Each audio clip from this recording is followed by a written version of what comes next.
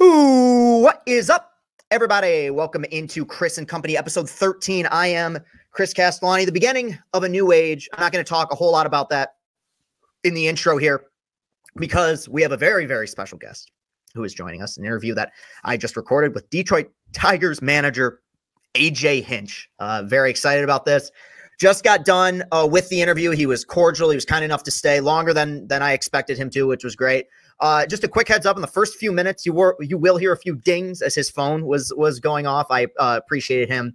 After a minute, uh, we we got down to the bottom of that and and turned off the notifications. So the last 55 minutes of a one hour interview is is spotless after that. And uh, you guys are going to really enjoy this one. Just, I mean, it's what I expected. Just a sharp, sharp guy. I don't want to get your expectations too high, but before we jump into it, make sure you hit that like button, hit that subscribe button. If you're watching this on YouTube, you can follow me on Twitter at Castellani2014. All Chris and Company content you can find down below in the description for this video. All right, I don't want to waste any more of your time. Let's get to our interview with Detroit Tigers manager, AJ Hinch.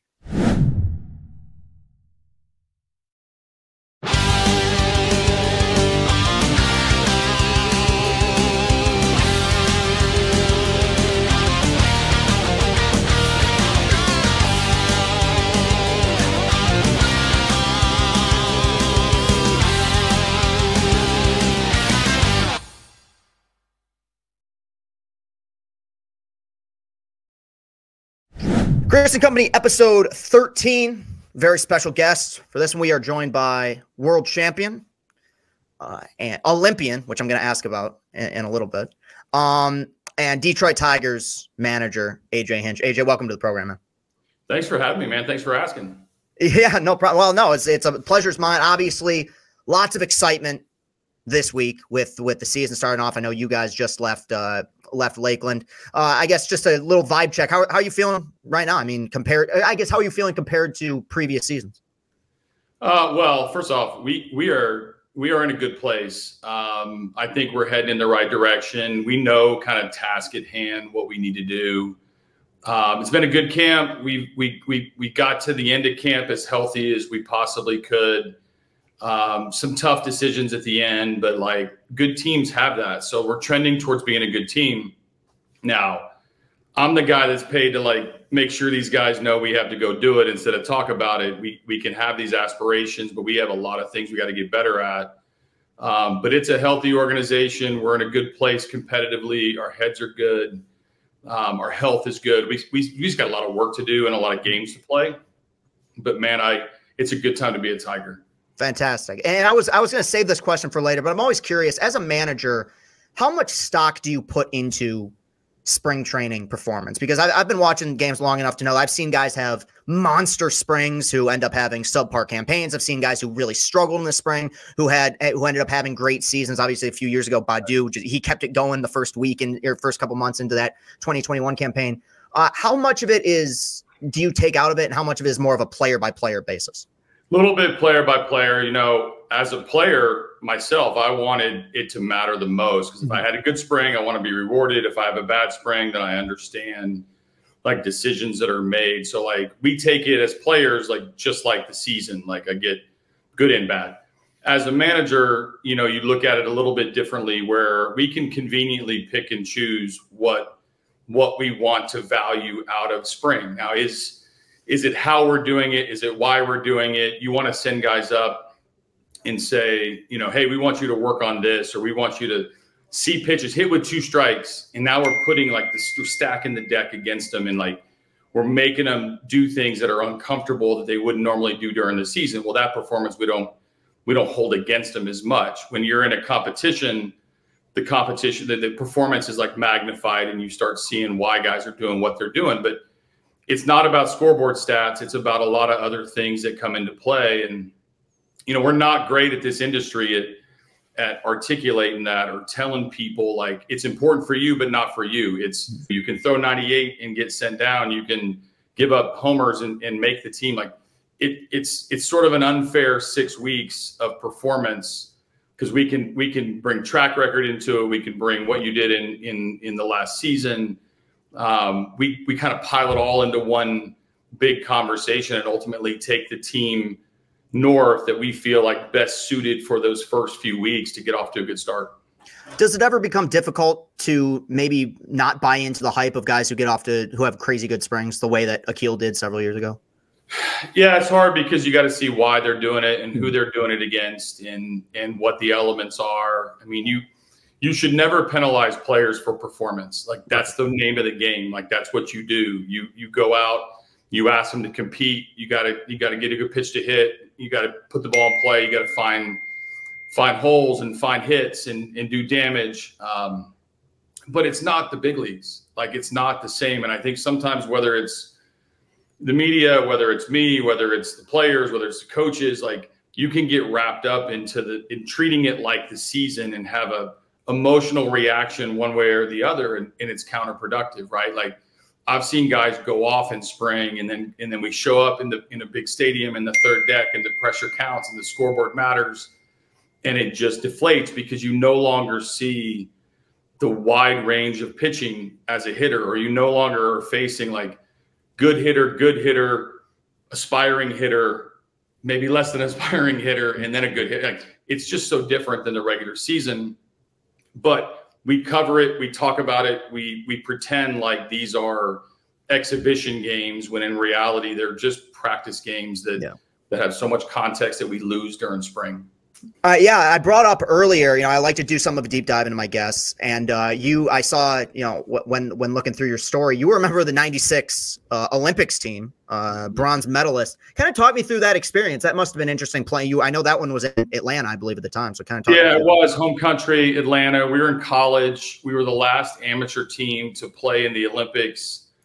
Um, in '96, in 2000, they took they took minor league players and a, and a couple of guys on 40 man, and then um, you know, baseball's been hit or miss in the Olympics ever since. So I, I, I love the fact that I, I, played for Team USA my whole life since when I was, you know, 14, 15, junior Team USA, all the way through college.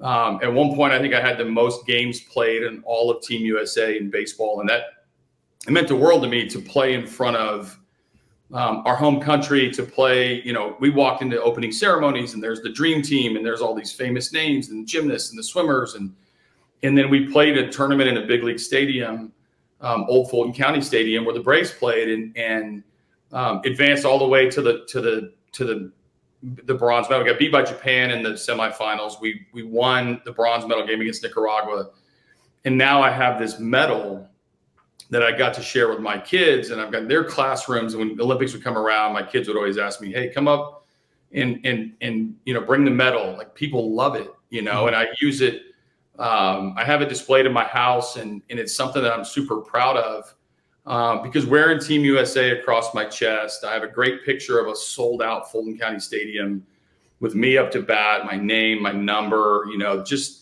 um, later, he got to tell a story to Yuli Gurriel in Houston because I played against his dad in the Olympics. You know, when his dad was uh, was a big first baseman, um, and some of the Cuban players that have come over that that you know are are famous now. So it it's a life experience. One, just just being in the Olympic Village. Um, my mother and my aunt were at Centennial Park when the bomb went off in '96, and like things that that a life experience to baseball experience. I'm glad that I you know delayed turning pro a year to get that experience. Forever call myself an Olympian and a medalist at that.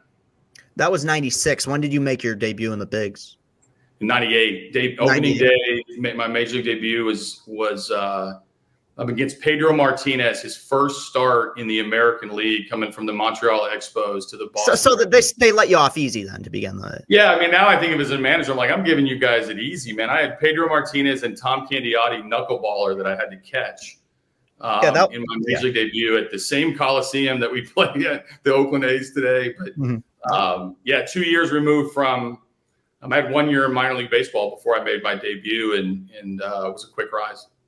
And then uh, you know you bounced around from from a few teams, found your way to Detroit, and the uh, the infamous 03 team. And I'm just I'm very curious, you know, because that team just a, a one uh, did did not tie or break the American League losses record. But I you know now that 21 years removed from it, were there any lessons you learned as a player on that team that you carried over at as a manager now in, in the modern age? Well, I apologize to Tram every spring um, on his birthday when when he's in camp for his birthday every year. So I always acknowledge birthdays in the room, team meetings every morning. We try to have a little bit of fun in there. And I apologize to him all the time that, man, I was a part of that, that team you managed in, in 2003. Um, I started out the year in the minor leagues. Then I, I got up, I got hurt. I came back. We finished the year with like what three or four Rule Five picks, a lot of journeymen, um, some really notable players. I mean, Bobby Higginson was a nice player in our in our franchise history. Dmitri Young had a really good year that year. Brandon Inge has, has made a huge impact in the Detroit area in general. Um, you know, at Michigan, so it, there was a lot, you know, that that I'm appreciative of.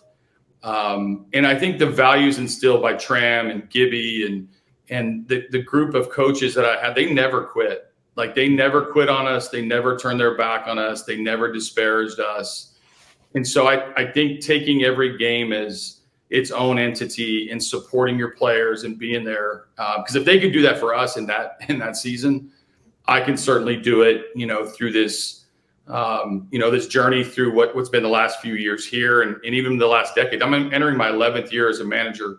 I never would have thought that I was going to be a manager to begin with, let alone you know do it over a decade. Um, but but Tram was a part of it, so I, I make sure and I apologize to him. I, I, should apologize to the fans that are watching. I know that was a rough year to watch, um, but we grinded the best we could. It, it all worked out in the end. And look, uh, they what you said is correct. Is that team did finish strong? I mean, they avoided there was five six in a row to end that end that campaign. To uh, we dogpiled the last day, like yeah. we made the playoffs. We were facing Ron Gardenhire's Minnesota Twins, yeah. and they were going to the uh, to the playoffs that year, and there were a lot of good names that were in AAA for them at that time. Michael Cuddyer, Justin Morneau, and Torii Hunter, I think was on that team. Like there was there was a lot of Jacque Jones, who I played in the Olympics with. Those guys were crushing, and and so we got to play what was the equivalent of the Rochester Red Wings on the last day of the season to make sure we didn't lose 120, and that mattered so much as we poker faced it with the media we pretended like we didn't matter, but none of us wanted to be a part of of history like that. Of course, and it's only human nature, and you got to do what you got to do to to save face to a certain extent. But I, yeah, it's as a competitive guy, like you just you can't have that in the back. It's going to be in the back of your head when, when you're. No, you gotta hate losing. Yeah, like, of course. When you get to this level, like yes, you know the performance matters, and yes, there's an individual side to professional sports, no matter if it's under a team or whether it's an individual sport. There's there's individualism in everything that we do, but you gotta hate losing if you're gonna survive, you know, the journey of a season and and things that matter to, to we all win. We're all called, we're all called winners. You said it at the beginning of my intro, like I'm gonna be attached to winning. Now there's obviously we can go into the Astro stuff too, but it it we won in 17, we won in 18, we won in 19, been, been to two World Series. People associate you with accomplishment. And so that comes with with uh with winning. That's a good point. This is your third managerial stint. You managed the Diamondbacks for a little bit, and obviously very successful tenure in Houston, now in Detroit. Uh, I guess what's the one thing that the AJ Hinch that managed in Arizona didn't know that the AJ Hinch in Detroit has has learned?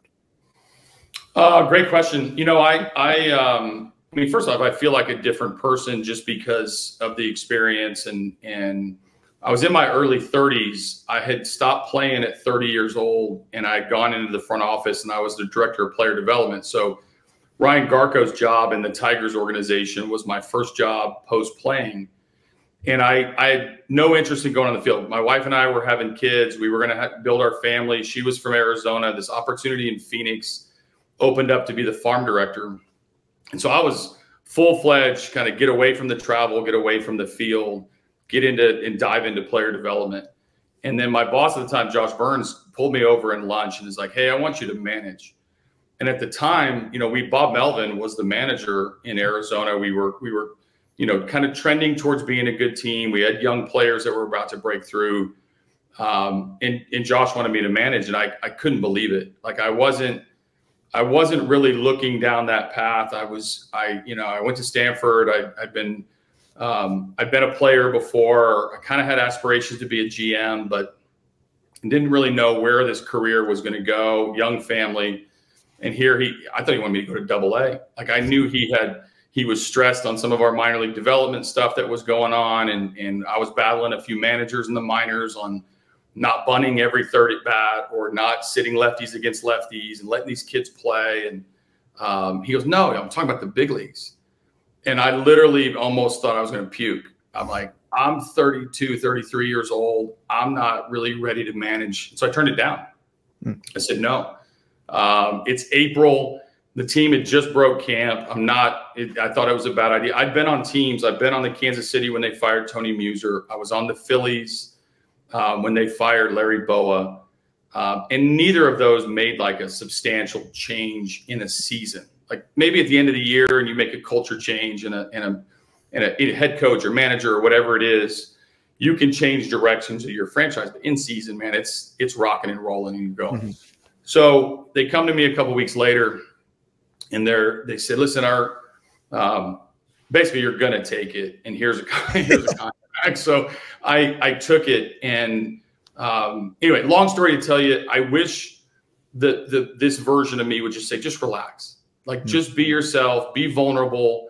Um, you're going to make mistakes. You're going to make gut calls that are wrong. You're going to make sort of prepared, information driven decisions that are wrong uh, because results are really hard to predict in baseball. It's a it's a very random game where you try to build system. You try to you just be yourself. Like let the players know when you're pissed. Let the players know when you um, when you're happy, and and they'll appreciate that. As a young manager, I wanted to look managerial. I wanted to to mm to be very stoic. I wanted to, that's what a leader was. That's what the old guy was. And I, I was as young as some of the players. Like I had Tony Clark, now the union leader, as my first baseman. I had Brandon Webb, Cy Young Award winner, as one of my pitchers. He later got hurt. I had Eric Byrnes, who I hosted on a recruiting trip at Stanford and played with with the A's as my left fielder. Like they didn't want to see like the buttoned up like stiff guy. They wanted to see, you know, behind the scenes, they want you to lead them. They want you to push them. They want you to coach them. And that that version didn't come out until Houston. And now I'm, you know, it's it's it's very natural. And I I know the public version of me in the dugout. I'm pretty stoic. I'm pretty quiet. Um, I'm not a big chirper. You know, behind the scenes, I'm a, I'm kind of a nutcase to my players. Like they'll tell you that I'm, you know, that I'm I'm pretty entrenched in in the daily operation and what they're doing. So I wish that young version of me would just take a breath and relax and hmm. and show them that um, you know you're in the trenches with them as a as a as a teammate. Yes, I'm the, I have the office, I have the title, I have the I have the, the you know the the power, the pen. Um, just be yourself. Um, and a little six degrees of tiger separation, but Gibby took over right after you left yeah. Arizona, right? Yeah, yeah, he was next. He was next in line. Yeah. Um, did were you surprised when you got hired by the Astros after 14? So I had interviewed for a couple of jobs. I so I went from from Phoenix to San Diego and went back into the front office, um, and I had ascended to assistant GM, and I was in charge of like player personnel and pro scouting and some of the personnel stuff. So but I always had my eye on managing, and I had a couple teams that had called me, you know, informally and asked me about managing, and then I had a formal interview um, in 13 with the Astros um, that went to Bo Porter, and that job was a lot different in 13 than it was going to be in 15. So when they called me back, um, you know, I I knew I had a, a serious shot at it. I already had a relationship with Jeff Luhnow, Jim Crane, the owner. Um, they were making a change and they wanted me to interview again. Um, so I, I, you're always surprised. There's only 30 of these, and everybody in the world thinks they can be this person. Like everybody's a good manager in their own in their own way, right? Like we all we all know what the right plays to call in the NFL. We all know what the right what the, right formations are in, in basketball. We all know what moves we should make in baseball. So I I didn't know where they were headed. Um, but I was very appreciative, and I I went in to get the job. Like I wanted to manage, and that um, that opportunity turned out to be you know a, a opportunity of a lifetime. It obviously worked out for the best. I mean, it seems forever ago now, but there was that period in the 2010s, early 2010s, the Astros were just they were at the bottom. I mean, you got there right kind of at the beginning of the ascension. Were you surprised at how good that 15 team turned out to be? So we we didn't, you know, we talked about winning. That was one thing that I, and it's very similar to, to what's going on in Detroit mm-hmm. right now. Is we need to embrace the topic of winning, and we need to embrace the development that needs to happen to learn how to win, and you got to bring in guys that have, that have won and have done it before, and then it gels together, and then you got to go win games. But you got to talk about it, you know, before you do it.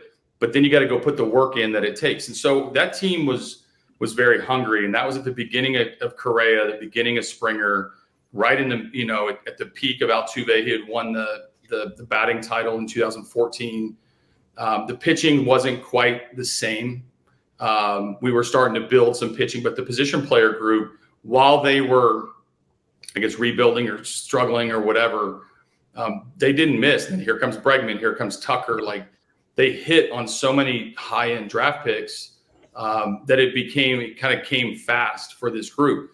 We hadn't won in Houston in 10 years um, when when we finally broke through and won the wild card. And um, that was a celebration because we earned it. We were in first place most of the year and held on to the wild card at the end. Uh, but it was it was the first taste of winning. And one thing I can tell you about winning, and I know Tiger fans feel this way, is once you taste it once, you never want to not not have it on your you know kind of on your menu, so to speak. Yeah, and, and you're right. It took the pitching a minute to get going, but Keuchel had that transcendent year that first year you were there. Oh, yeah, he won the Cy Young. I mean, it, it, let me tell you something. It, it, the players, you know, when they you get a performance like that, and then you get the the the, the, uh, the youthful enthusiasm that came through, and they all performed well. Like we again, like paralleling it to the Tigers, is young talent can be good if they're good faster. Then things move faster, right? Like we're seeing what Tork's doing, we're seeing what Riley's doing. It's the same thing that we were seeing in in Houston, and then we put together a full season, winning months. We put together winning stretches, uh, won a ton of games, and got into the wild card. We won the wild card game at Yankee Stadium, and that was sort of the birth of a team that started to believe they could win. Yeah. Also, the birth of a team that gave the Yankees a lot of nightmares over the next next seven years or so in those in those postseasons. But um, was there through during your time in Houston? Those were fun teams. They still are fun teams. But you had the privilege of managing know, Hall of Fame caliber players at their peak. Uh, you know, in 2019, those years you got out of Verlander and Cole, you know, two guys with 200 innings, 300 strikeouts. I mean, on the same team, it's ridiculous. Do you manage greatness or great players differently? Do you give them a longer leash than you would a guy who's just maybe fighting for a roster spot? Um, it's another good question. I, I think it's both. I think I think it's harder to manage um, you know the magnitude of of certainly those two. I mean, JV and Cole are as prepared as any mm-hmm. players I've ever been around, and they were still at peak performance. Um, you know, we, we we acquired Zack Greinke, another you know borderline Hall of Famer, and he he, he does it his own way. Um, you can, you know, there there's there's certainly interactions that um, that with established guys, the respect they deserve, the interaction, but you have to take them out whenever they're tiring, just like anybody else. You have to give them extra rest like anybody else. Um, you have to explain to them a little less because they get it. They've been there. They've done that. Um, but that year in 19, like I had reporters asking me, you know, off the record all the time, like, gosh, how, how, do you separate these two? And I'm like, I don't have to for awards. You do. Like, I'm just going to put them one and two in whatever series they fall in, in whatever order it, it, it, it, happens. And it just so happened that year, like Gerrit Cole pitched game five against the Rays in the, in the ALDS, punched out like 15 or 16, which just springboarded JV to pitching, you know, kind of the brighter games in the ALCS, and they both pitched in the World Series. So um, I think you have to you have to you have to manage players where they're at, not where you want them to be. And so if it's an older, if it's a player, some guys need more attention than others. And it doesn't really matter whether it's a young guy or an old guy or experienced or inexperienced. You have to you have to approach them in you know, in in their moment, in their space, the way they like to be communicated with, and um, those are different guys. Even though they're both tracking towards the Hall of Fame, they're they have to be communicated with differently because of their personalities and the way they they absorb information. For sure. Uh, let's skip ahead now. You have the tenure in Houston. You let go. In hindsight, is there? I mean, I know it was obviously a whirlwind, and you deal with the the public scrutiny and the backlash and all that stuff. But was there any part of you that was a little grateful you didn't have to deal with the headache that was the COVID year at all? uh, no, because I was so embarrassed by how everything went down. You know, I will forever um, apologize for that section of my career. I hope that the bulk of my career will will show my work and my worth and my in my you know my capabilities and i won't be defined by by that section. Um, but i have to always apologize because we were wrong. And so you know obviously that covid year was my suspension year. And and it's easy for people my friends my family like everybody has always said like oh man what a year to miss.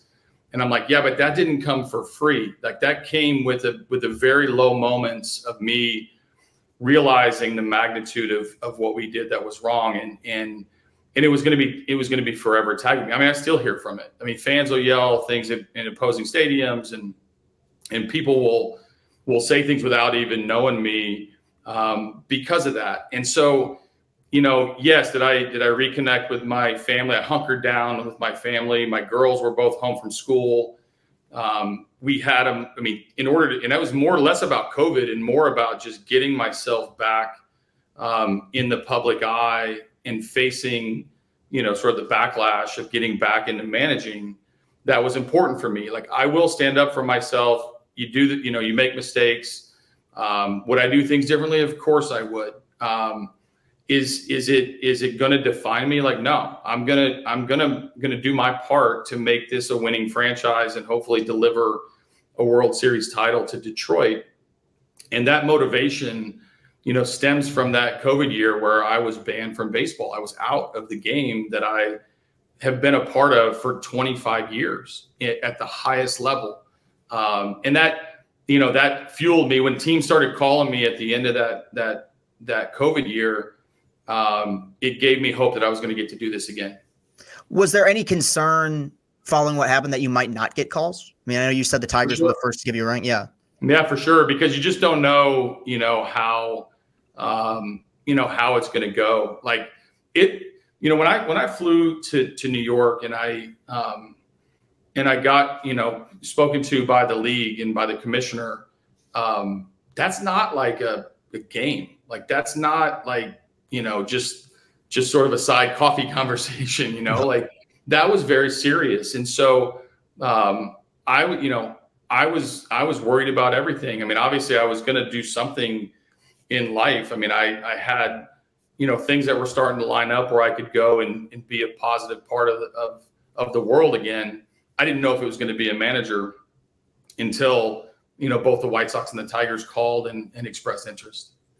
Uh, and now you've been here. This is your fourth time. Flies, man. It feels like a lot has changed. We've gone through the pandemic. We've now gone through multiple regimes of Tiger baseball uh, with you at the helm. You know, now that this is this is Harris's second full year in charge. The question I've asked everybody that's been on the show so far from the organization: what are the differences that you've noticed between the Al Avila era versus what Scott Harris and his regime has brought to the table? Yeah. So whenever things happen, like, you know, I've been a part of a couple different regime changes at a couple different times, and some of it's been on the backside of it. And, and this one, you know, I was here in this role on the front end side of it. So it, it's always a combination. Like there are players from, you know, they're blending now from, from both you know front offices. There are um, you know there's there's the pros and cons of all of that. There's there's philosophy changes. There's I think the biggest I mean our pitching development and our player development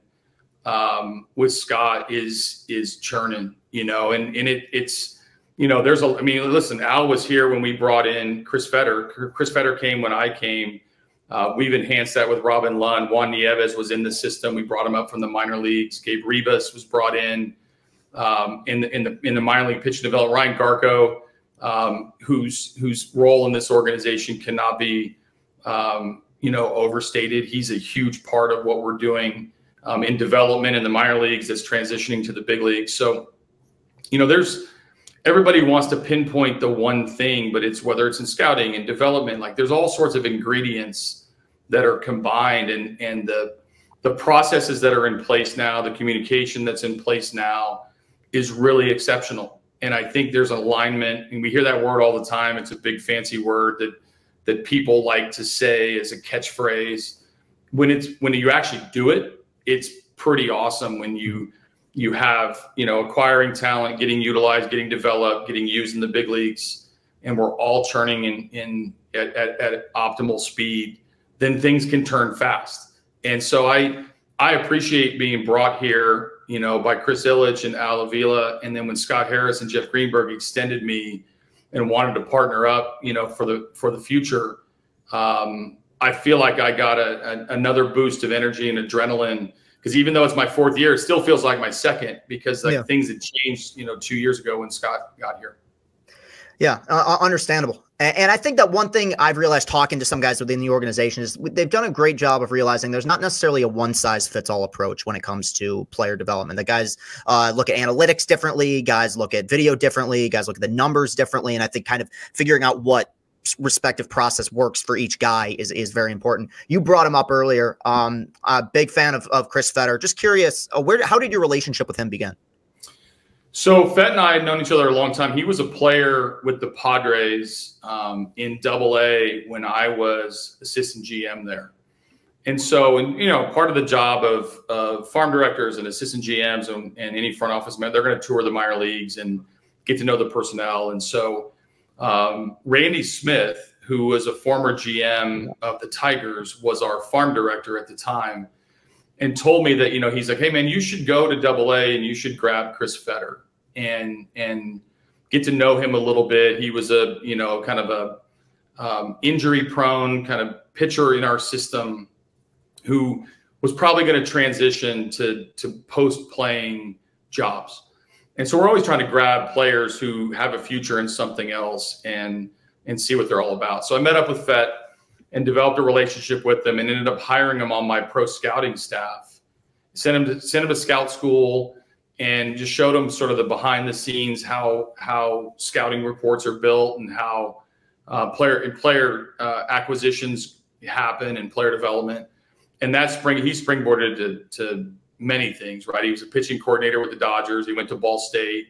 He ended up back at Michigan. I tried to hire him in Houston when things started to change there and our pitching department opened up. He wouldn't leave. Um, and I always told myself if I got another opportunity, he was like a guy that had circled. And we'd kept a relationship throughout the years. And when I got the Detroit job, he was the first call.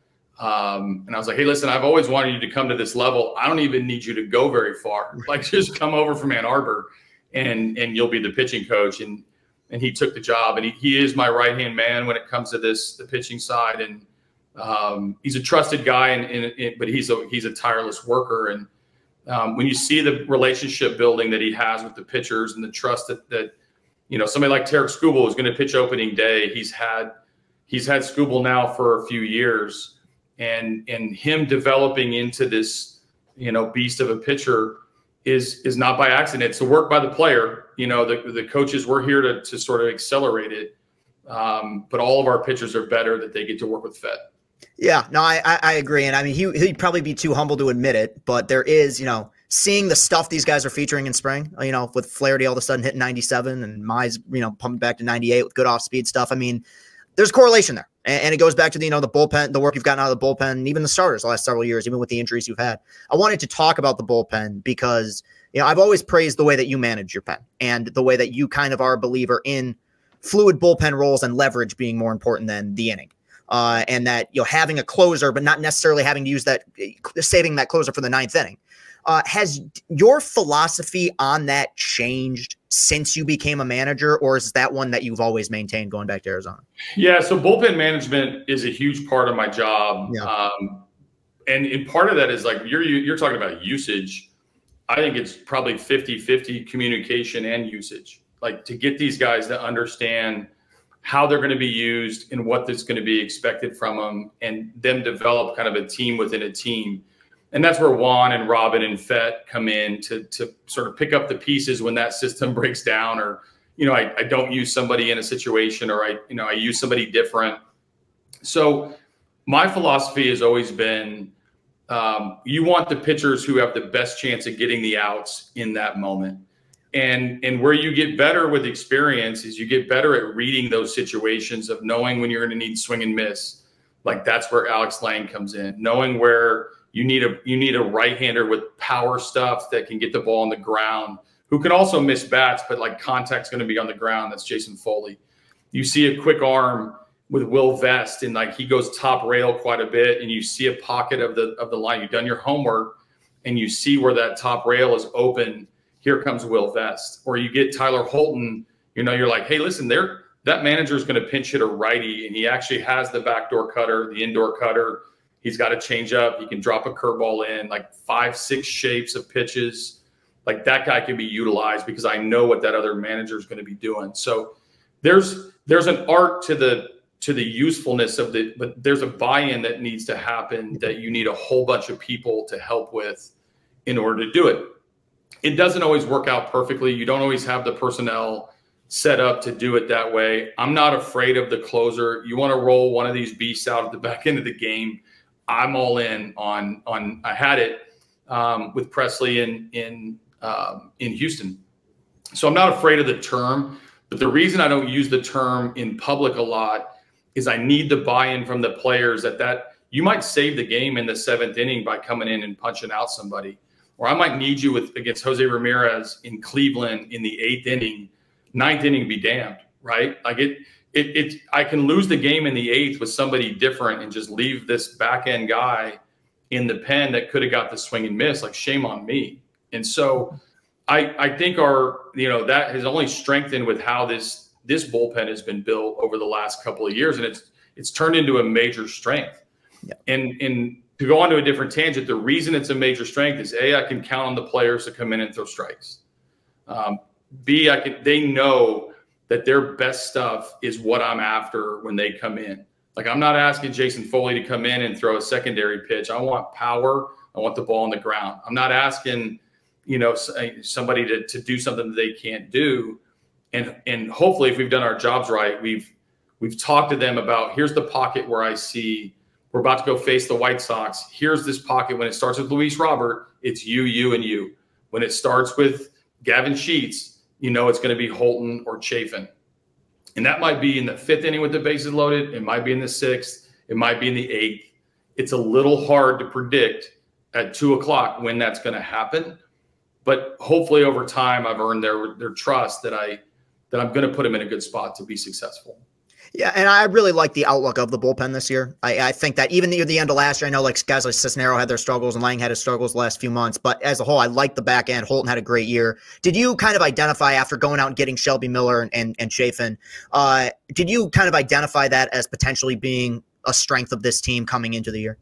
Yeah, so I, I think this there I think there's eight, you know, we're starting the season with eight. I think pitchers 9, 10, 11, and 12 that are in in that are going to be in Toledo yeah. are to are to impact us. And so I think what we have is we have versatility. We have guys that can go multiple one ups, two ups, even three times, um, you know, three innings.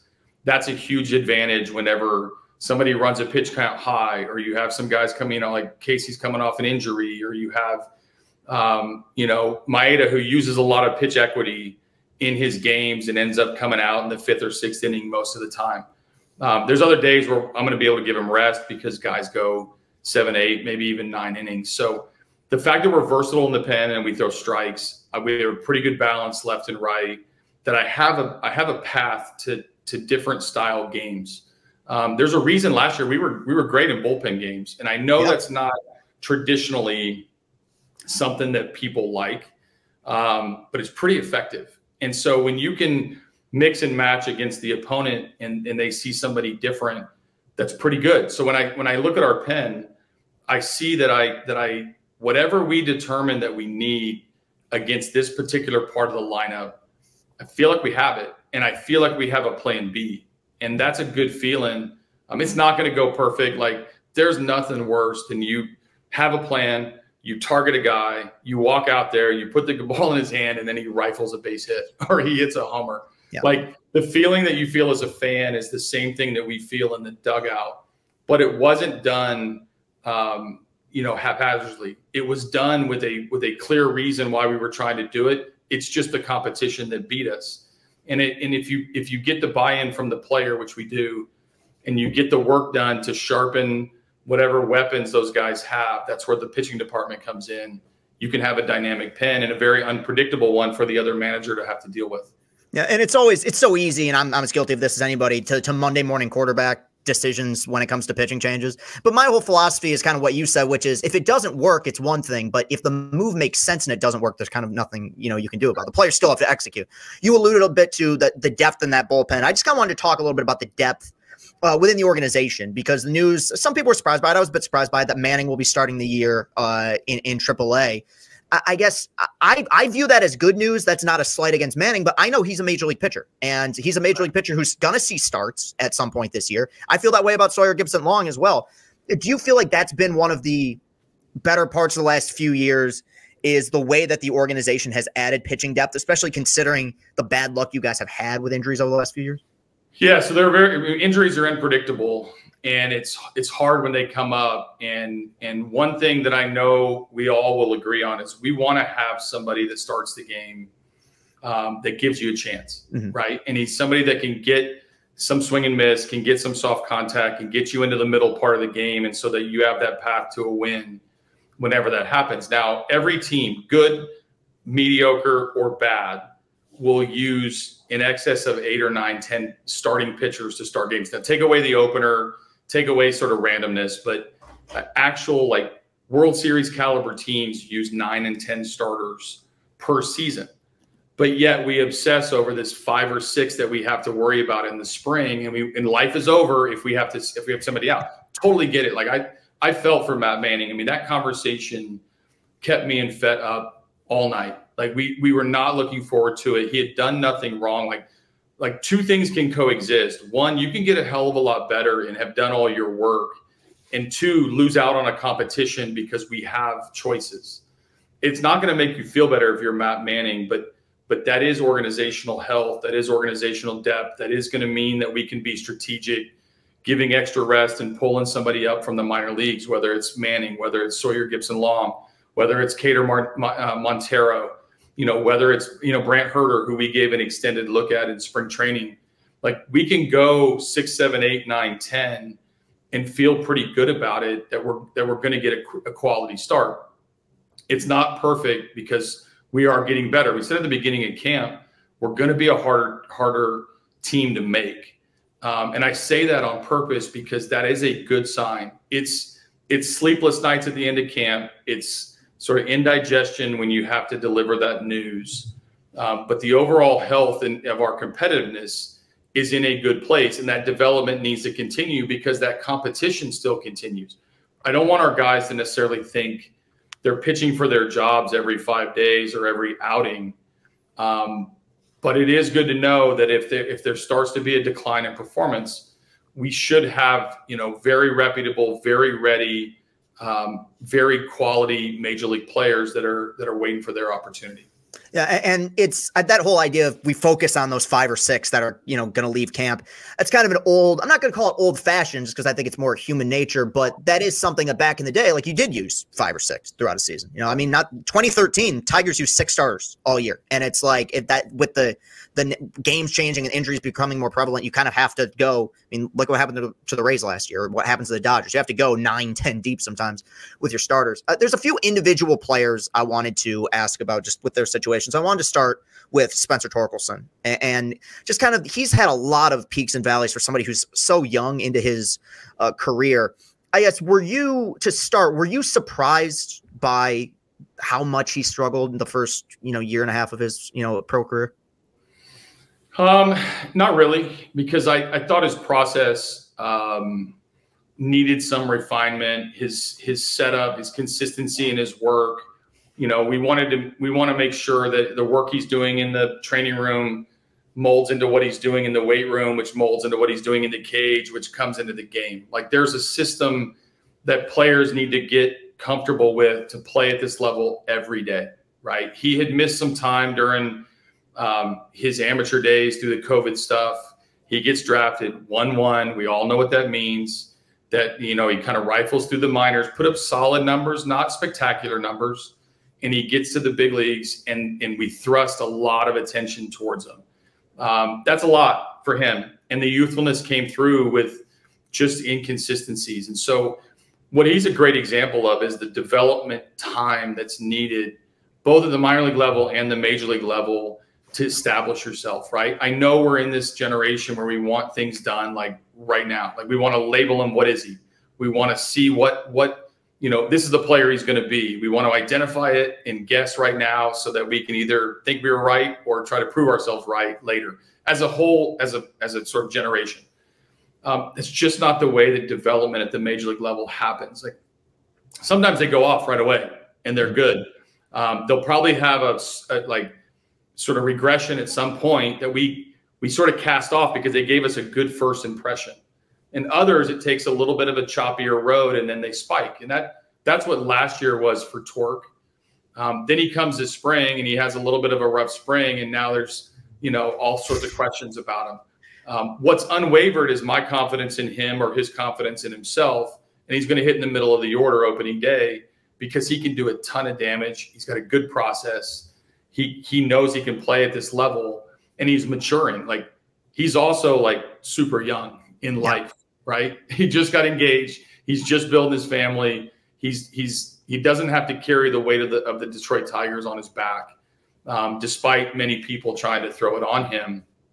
We got to surround him with with good people. You don't just fall out of bed and hit 30 homers, and you also don't, um, you know, you you you you're going to be pitched differently now that he has. And I think that adjustments are going to be made, and and he's a really good player. He's got a really good head on his shoulders, and um, he's going to be a he's going to be a really good player consistently you know, if we just let him grow up.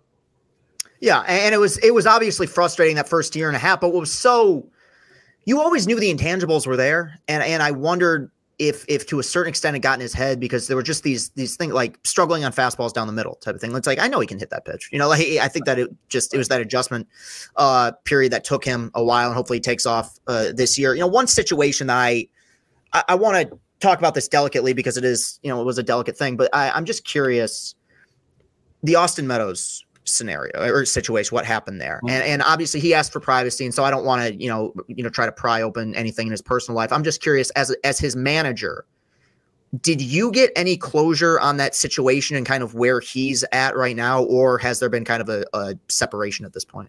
Well we have parker and so we have the family in our family still and we'll we'll forever you know root for austin to just be better for himself, for his life, for his child. You know, his.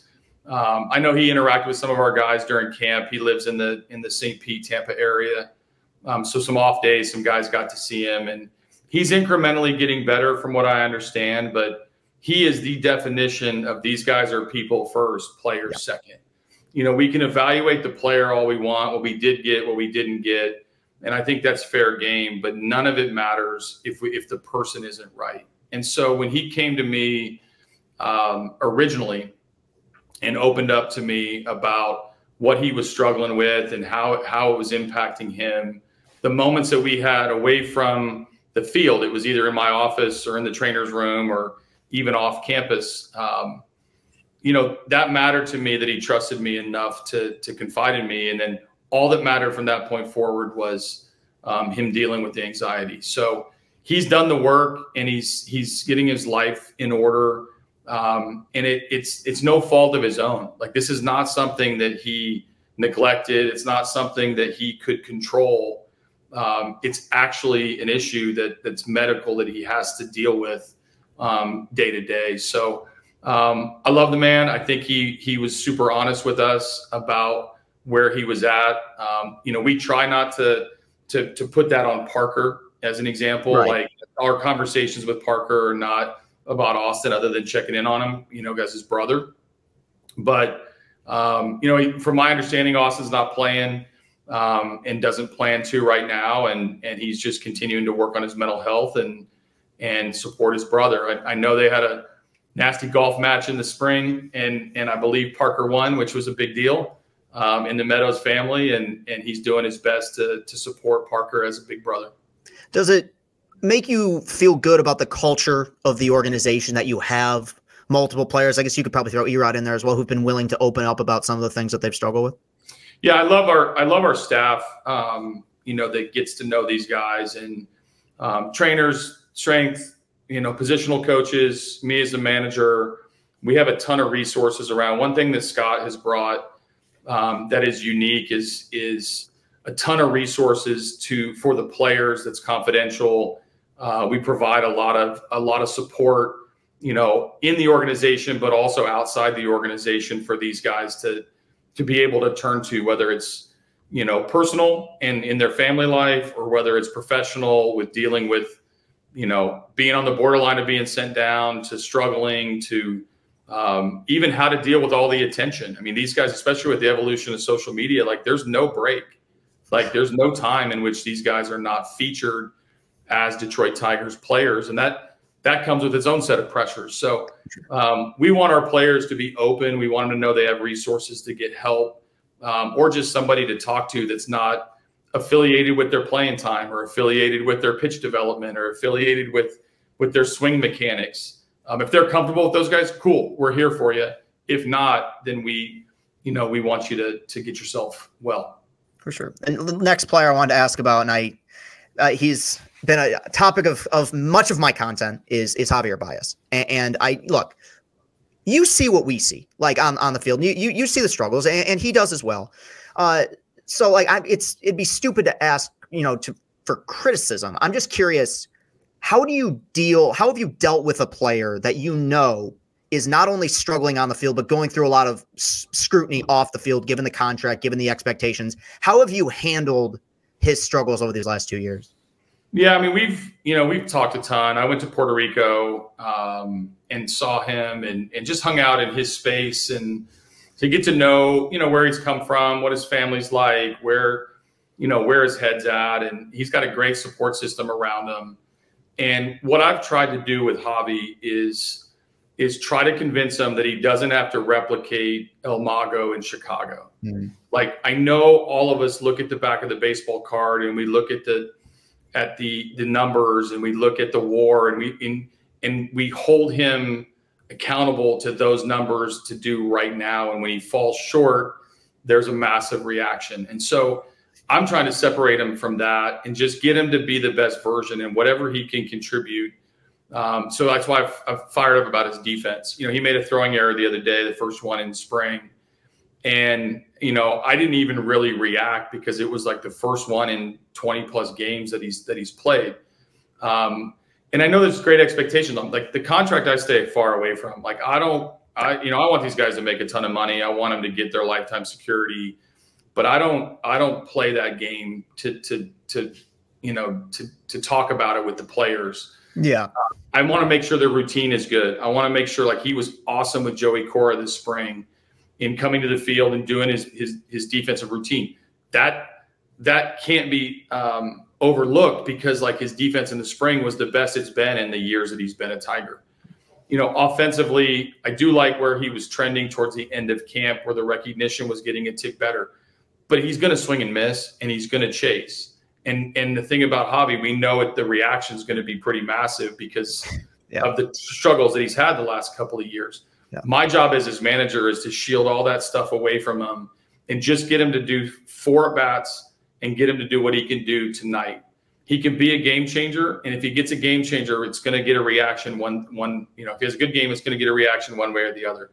When he has a bad reaction, I mean, a bad game, we know what the reaction is going to be. I'm just trying to shield him from all of that. I have his back. I know, I know he's got to be better for us to be better. I, what I'm doing is I've moved him down the order. You know, he's not in a feature spot anymore. Um, I'm going to try to keep him rested to see if that's going to help. Maybe there's a game off or two, um, or maybe things click for him and we start seeing the flashes of of good of good that he's done in the last couple of years. Like we're humans too, so we we often dwell on the things that we want to look at. And with him, you know, he's been a he's he's he's had his struggles and he knows it. And I think you know he's done the work. He's addressing it. He's openly talking about it. It's not he's not dismissive. He's not moody. He's not someone who doesn't take accountability behind closed doors.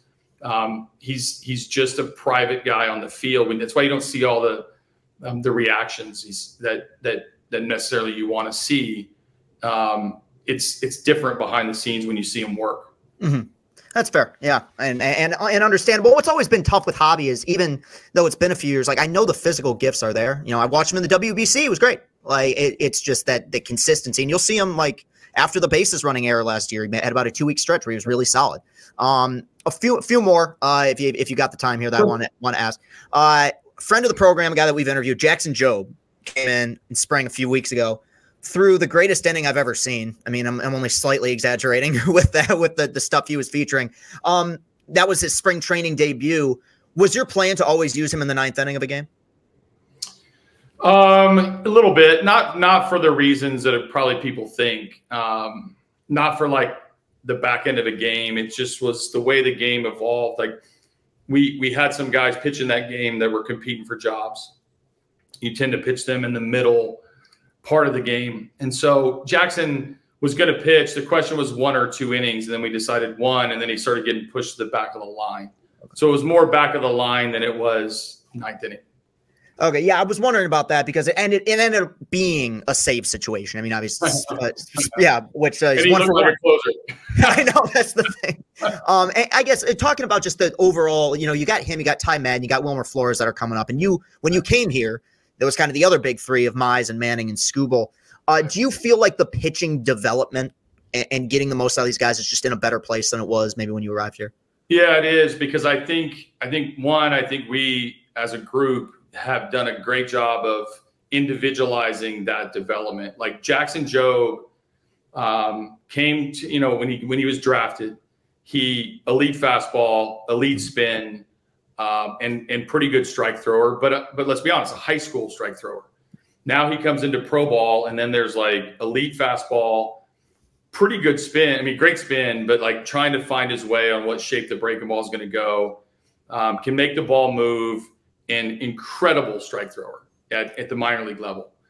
Now we're getting into like more specific with him where we need the great fastball, we need the elite spin, we need you to not have any sort of um, bad reps. And bad reps is going to be like count management. Like we're not going to throw all 2 old fastballs because when you get to the big leagues, like there's Jose Ramirez waiting for you, there's Luis Robert waiting for you, there's you know, Carlos Correa and Royce Lewis waiting for you in Minnesota, and there is Juan Soto waiting in New York. Like it's just different, right? So we're going to have to learn how to use our stuff a little bit better. And so that's individual for him. Ty Madden, very different, right? Ty Madden comes from a college program, pretty polished. Now he's working on left-handed hitters. He's trying to find some weapons so that to be a starter in the big leagues, you got to impact righties and lefties. Because guys like me on the other side are just stacking the lineup against your weakness in trying to trying to give you a hard time to get through the order. So Ty Madden's a little bit different. Um, Wilmer Flores, obviously huge extension, really good breaking ball, velo off the charts this spring. Um, we're going to shorten him up a little bit and, and try to get him into three inning stints and pitch him more often and see if he can be used. He's on the 40 man now. So his timeline is like fast forwarded because he's on his first option and you only have three option years until you need to know what he is. So there, I think this development, the fact that we can individualize it um, and maximize strengths if we need things to something that somebody needs to work on a little bit more. For Ty, it's the lefties. For Jackson, it's quality strikes as opposed to general strikes. For Ty, I mean, for Wilmer, it's how to incorporate his spin into this into his game more more often. Um, that's where we're getting really good. And then there are a ton of other names that you know whether it's Melton in in, in the minors or whether it's um, what Jason Foley's doing to combat the the left-handedness of the guys that they're pinch hitting against. That's where the value of Robin and and and Juan and Fett and Gabe and Stefanos um, that are that are really doing a ton of work because pitching is the one area where we can control a variable. Like we can we can change a pitch grip, we can change a usage pattern, we can change a location and it and it impacts the hitter so much faster than the reactionary side of the sport, which is the offense. Does that make sense? Oh yeah, no, completely. And I think the thing you bring up with Jobe about making sure it's quality strikes, you know, in certain counts, I think that's something. And when we talked to him, he said this as well that Skubal struggled with a little bit in the early part of his career, where you know in the minors he was seventy percent heater, you know, and it's like you're you get to the big leagues, no matter how good that fastball is, you're gonna have to make that adjustment. You're gonna have to mix in off speed on 2-0, 3-1. Uh, and I wanted to ask about about Skubal. You obviously named him opening day starter. Uh, it just feels watching him in spring and even the latter part of last season, the growth is apparent from what we've seen from the young guy that we saw in the in the COVID year. What and you arrived here in 21. What's the biggest difference that you've noticed in him since you became his manager in, in 21? I think um, I think Fett has done a really good job of getting him to control his delivery. You know, he's a big physical guy. He is he's got, you know, his body was growing while he's and he's trying to learn how to maximize his leverage. Um, the leg kick is huge, the landing spot, and then his arm was so fast he had a hard time. He would spray the ball all over the place, yeah. and he's still going to spray it a little bit. But if you look at his miss patterns over the last couple of years, you're going to see him shrink more and more. And now he's starting to incorporate like this changeup. You know, when he came, when he first got him, he had a little bit of a split. He was having a hard time pronating. And Fett's done a really good job of getting his pitch mix simplified, getting his delivery simplified, and getting his energy down the hill. Now that that has turned him into a very good strike thrower and and very good at pitching it all four quadrants of the strike zone. It's not just high heaters, low off speed. He can throw low bullets. You know, he can throw backdoor spin. He can throw a changeup at any point and feel really good about it. And they're all stacking lineups against him with righties, which makes that that attack plan something that he can do, you know, do wonders with. So his as he's shrunk down his misses, his reliability of, of being able to get into counts has been great. As he gets into counts, what did he do all last summer? Is he punched guys out like crazy? Yeah, um, that's not by accident. So I, you know, it's it's the evolution of a lot of different things, not just oh he just had to pitch more and get more experience. Like no, that's not it.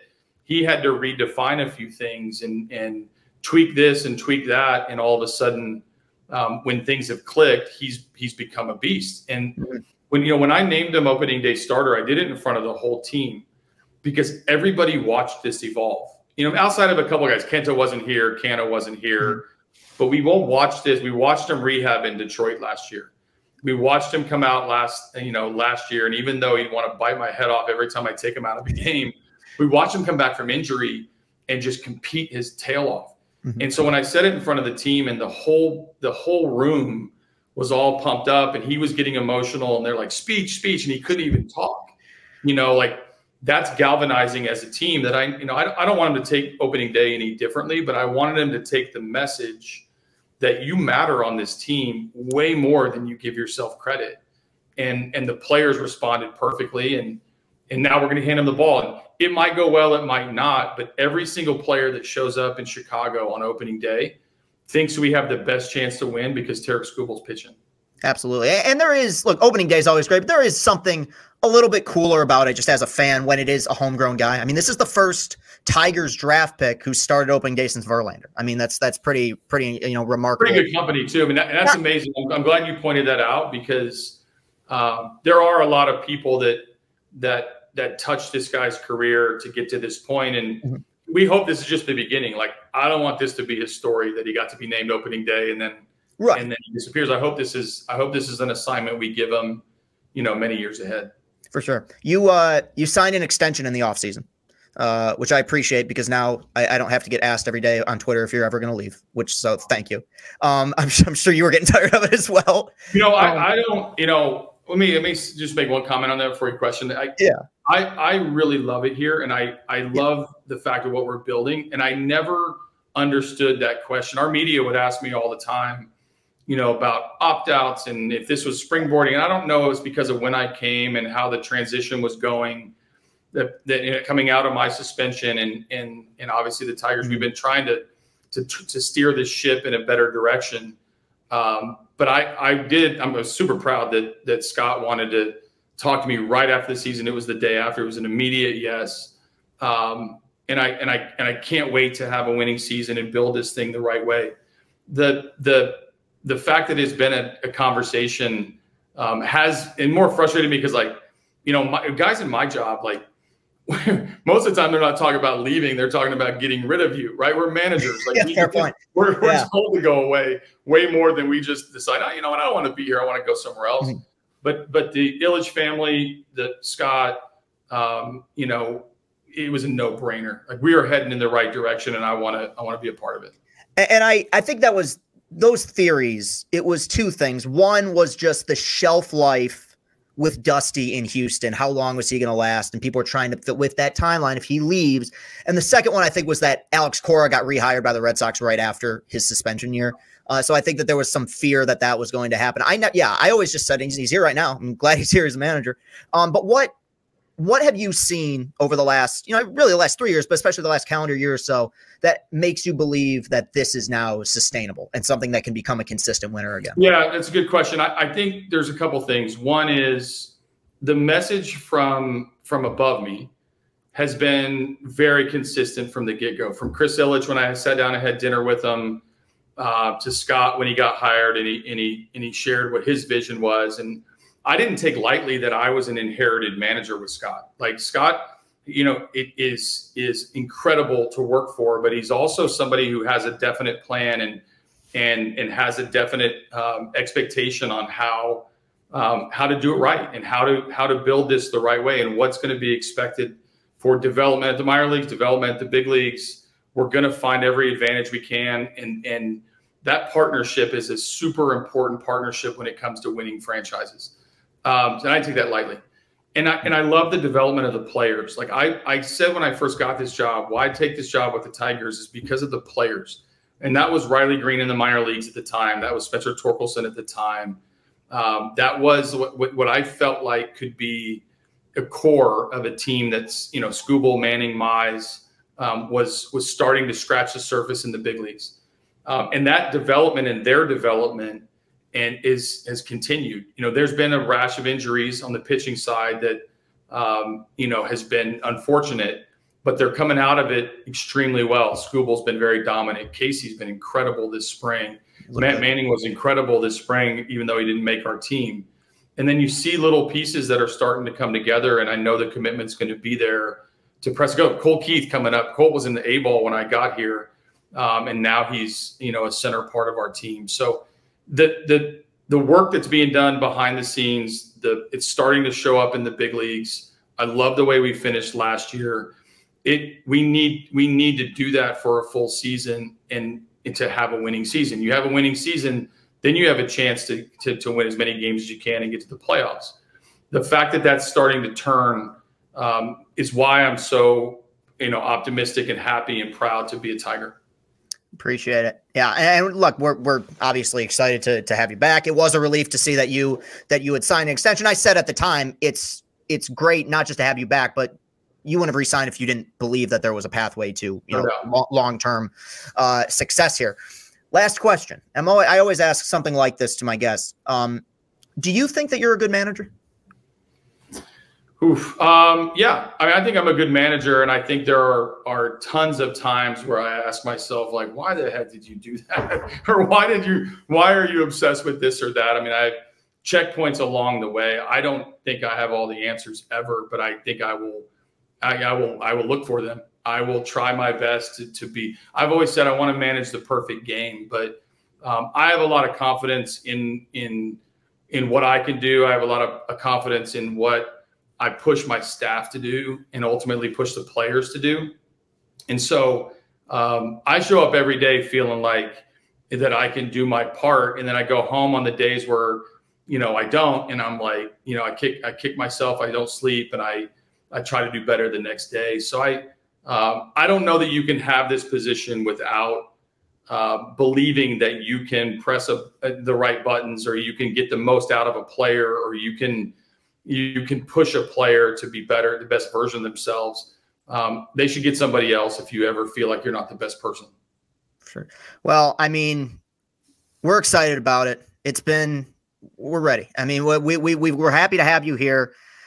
Uh, we want to believe that this team is the one that's different. I love what we saw in spring, and uh, I genuinely even beyond that. Just thanks for doing the show. Thanks for taking the time, and uh, best luck this year and going forward. Like we, uh, it's it's time. We, we can't we can't wait to see a winner here. Yeah. No, I appreciate you having me, and I know the fans. Um, you know, you're gonna like you're gonna like this team. You're gonna like the team that, that you deserve it. I mean, I I've every person I've ever worked that's ever worked in Detroit or ever played in Detroit or when it's been good knows. Um, you know what a special place this can be when you when you earn the the fans to come out and and support you. And I know that I know Tiger fans are ready for a winning team.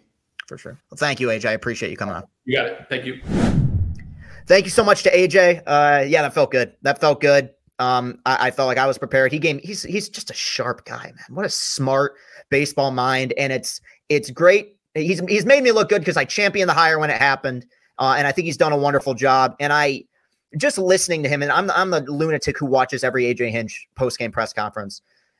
I really do think he believes in this team. I think that he he definitely sees a pathway, not just for this year's team, but in the the long term outlook of the organization that really, really excites me. So that was very, very kind of him to do. I want to have him on the show at some point again uh, in the future. Don't want to press my luck too much, but that really did feel good. So uh, that will do it for today's show. But uh, for people listening, obviously the I've begun so, sort of a new chapter in my life. I don't want to repackage or any or dig up any of the stuff we've talked about in the past. I've said my piece. Thankful for Barstool, you know, grateful for my time there. But people have wondered what content will look like going forward.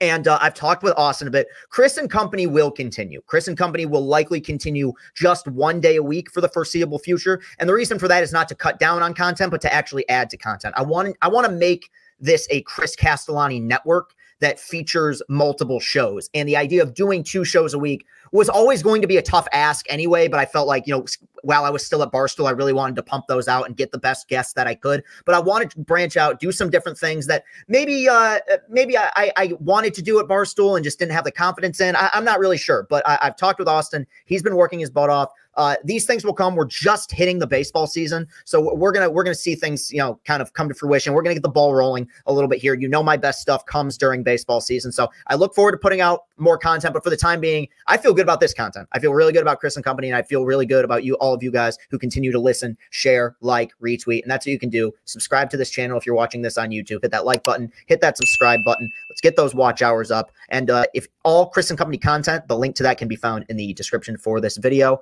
Uh, next interview, I don't know who it'll be, but it'll be post Tigers opening day. So to everyone out there, uh, let the games begin. Enjoy the season. And again, thank you to AJ for coming on Chris and Company. I'll see you later.